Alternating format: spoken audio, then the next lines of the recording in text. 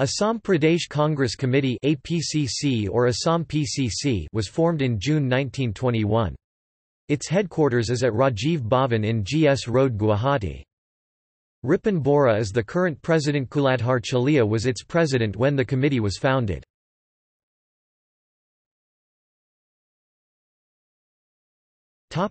See also Indian National Congress Congress Working Committee All India Congress Committee Pradesh Congress Committee